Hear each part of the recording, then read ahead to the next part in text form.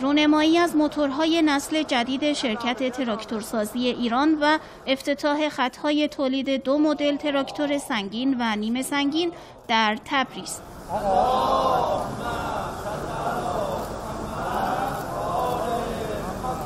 این صنعت امروز یک الگو الهام بخش برای همه صنایع کشور و نماد غیرت مردم آذربایجان که 29 بهمن اون عظمت رو آفریدن اینجا تبلورش در صنعت ما می‌بینیم. با توجه به گستردگی کشاورزی در کشور همین تراکتورها هستن که الحمدلله می‌بینیم چه انقلاب بزرگی در مسائل صنعتی اینجا صورت گرفته. ابزار دیگه و اجزای دیگه تراکتور رو کاملا بوم می‌کردن و انشالله بتونن وارد شاخهای دیگری از خودروهای صنعتی که مورد نیاز کشور است بشن. به گفته ابراهیمی مدیرعامل تراکتورسازی ایران همکنون 95 درصد نیاز کشور توسط این مجموعه تامین می شود و به همین دلیل سال گذشته 400 میلیون یورو صرف جویی ارزی اتفاق افتاده است.